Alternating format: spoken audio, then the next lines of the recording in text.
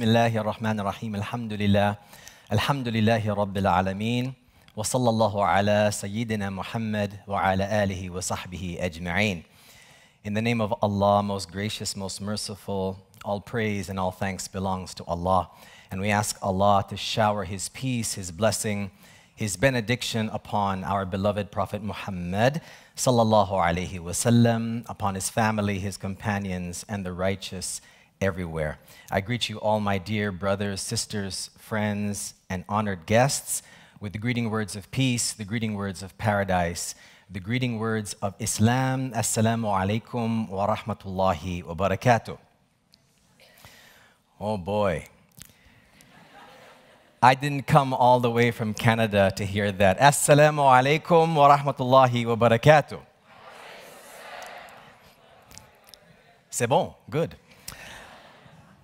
I wish to thank the organizers of the Muslim think tank for inviting me here to this uh, wonderful gathering. I'm very honored to be with all of you, with all of these uh, wonderful speakers, presenters, and performers. I have been asked to speak about a very interesting topic that I have titled Signatures of Time The Spiritual Origins of Modern Music. Of course, within our particular religious community, the discussion of music is a very polarizing one. However, before we actually get into that discussion, it's very, very important to clarify definitions. As Muslims, before we define or come to a conclusion about a particular issue, we have to define exactly what it is that we are speaking of. So, first of all, what is spirituality? Spirituality involves three things it involves the soul, which in Arabic is called nafs. And the nafs or soul is defined as our personality, who we are, our inclinations to happiness, to sadness, to melancholy. If someone describes your personality, they're describing your soul. Number two, we have something called spirit, or in the Arabic language called a ruh, which is ultimately the sacred condition in which we were created. It is a gift granted to all human beings by God Almighty, but knowledge of which we have not been given but a little. And number three, we have the heart, which in Arabic is called al qalb. And the heart is the filter through which our nafs is fed by our ruh. And the analogy I love to give is the analogy of the radio. You have some radios that are big, some radios that are small, some radios that have really good bass. You know, especially if you're playing, you know, reggae music, funk music, you need a radio that has really, really good bass. That's the body of the radio. That's analogous to the soul or nafs. But of course, for any radio to come to life, that radio needs electricity. No radio can come to life except without electricity, and that electricity is analogous to a ruh. There is no life except with the spirit. But of course, the electricity needs a means to travel into the radio, a means of traveling into the radio. And the qalb has a function of acting as a filter between a ruh and the nafs. And the one who is pure of heart is one who is more spiritual. In fact, in my work as a chaplain, I hear many people say that I am not too religious, I'm more spiritual. I'm not religious, but I'm more spiritual. Well, spiritual has to do with this particular process. Spirituality has to do with feeling, spirituality has to do with creativity. And number two, we have to define exactly what it is when we speak about music. What exactly is music? Music involves four things. Number one, it involves rhythm. What is rhythm? Rhythm relates to forward motion. That our lives, in fact, are incubated by rhythm. In fact, our bodies manifest rhythm through the heartbeat. When we walk, when we rock, movement is about rhythm. And there are words, at least in the English language, that relate to rhythm or being of sound body and sound mind. Timing is everything. If you live a very balanced life, you are considered to be someone who is in sync. All of these things relate to rhythm. And then we have melody.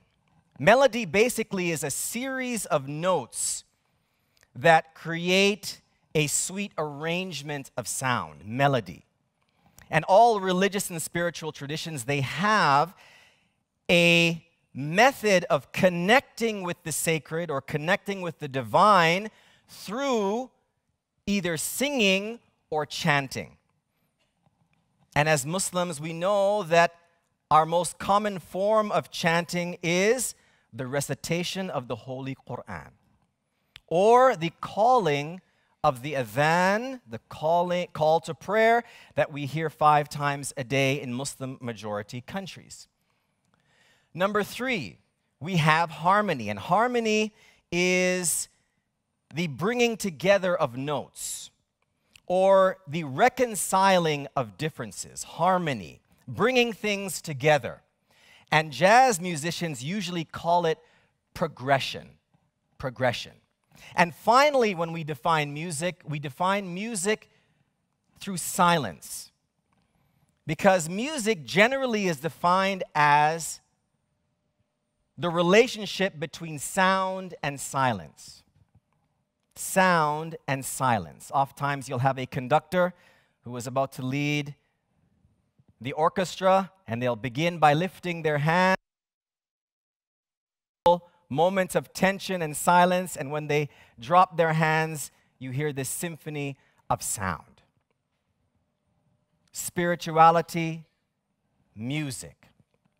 What is the relationship between the two?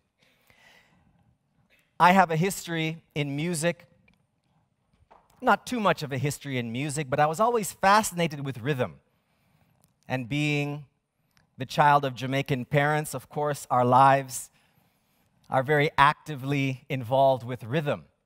And when I learned about Islam and I was introduced to the Shahada, La ilaha illallah, there's no God but Allah. I was very fascinated with the rhythm. And when I realized that La ilaha illallah may actually be related to the most common time signature that we have in Western music, 4 4, La ilaha illallah, I began to reflect on this. And some of our musicologists say, well, with the entry of Muslim populations, in particularly the Iberian Peninsula, the rhythm of the Shahada had a great effect upon the way Europeans understood music and composed music. Let us fast forward.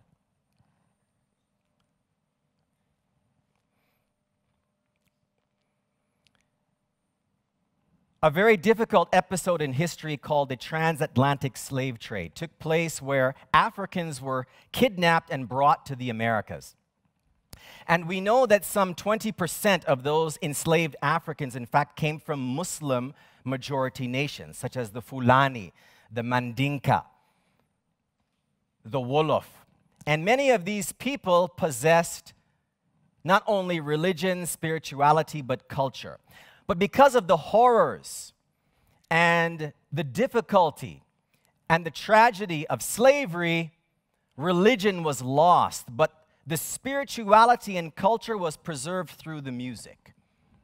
Was preserved through the music. And many of us have studied the relationship between the early slave hollers, the early field songs of the slaves, and Islam. We know the call to prayer. Allahu Akbar, Allahu Akbar. أشهد أن لا إله إلا الله أشهد أن محمدا رسول الله We're very familiar with this sound. If we heard the early field hollers, the early blues chants, and even if you were to go to a southern church in the United States of America, you might hear something like this. Said, I'm going to the graveyard. Said, I'm going to the graveyard. Said, I'm going to the graveyard to lay this body down. Perhaps those of us with a sensitive ear will, ear will recognize the relationship between the two. And many of our ethnomusicologists have said that the origin of the blues, the origin of the blues, which in fact is the origin of all popular Western music, is not in fact in America, rather, it is among the Muslims of Africa. So when we speak about modern music, we're not just speaking about something frivolous, but rather we're speaking about a genre of music that was born in the hearts of African Muslims who were enslaved in the Americas. The genius of the black American community is appropriation. They were able to take their particular condition and make something meaningful through it, create their own narrative. Not only in the blues, but also in religion. We have many proto Islamic movements that took ownership of Islam through using the symbols of religion, the symbols of Islam, to bring meaning to their lives and to free the community from oppression. The Lost Found Nation of Islam, the Moorish Science Temple, even the Universal Negro Improvement Association, which was founded by the Honorable Marcus Garvey. Their slogan was One God, One Aim, One Destiny, which was actually gifted to them by a colleague of Marcus Garvey, Muhammad Dus Ali. When we fast forward, we can see that Islam played a very big role in the lives of many jazz musicians, which inherited the spirit of the blues. We have Max Roach. We have Ahmad Jamal, who did a collaboration with a very popular local artist here in France, which I will mention in a moment.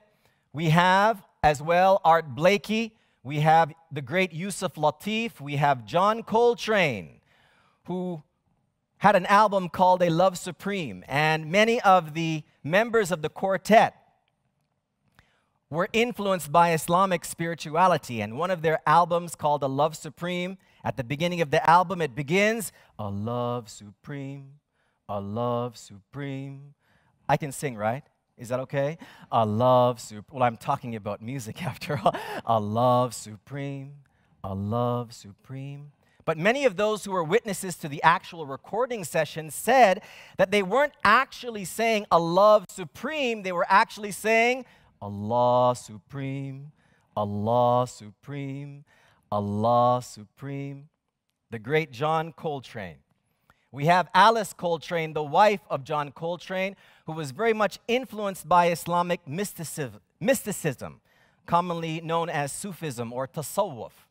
We also have as well the great Pharoah Sanders. All of these jazz musicians influenced very much by Islam and who identified with Islam.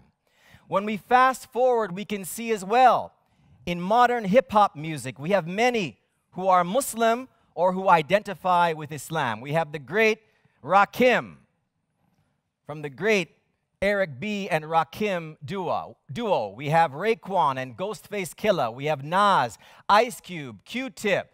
We also have Ali Shaheed Muhammad, the great Yasin Bey, commonly known as Mos Def. We also have Janet Jackson. Yes. What have you done for me lately? Janet Jackson. In fact, there is some suggestion that even Michael Jackson himself may have been a Muslim, but for sure, Jermaine Jackson uh, is a Muslim. And also, I mentioned that we have, I know I'm coming to France, so I have to big up, I have to bring up, big up the France hip hop scene. We have the great Abd al Malik, who is a wonderful, wonderful poet and hip hop artist who did a wonderful collaboration with Ahmad Jamal on an album called Marseille. So, finally, my dear brothers and sisters, uh, this is a picture of Bob Marley. Has anyone ever heard of Bob Marley? I'll take that as a yes.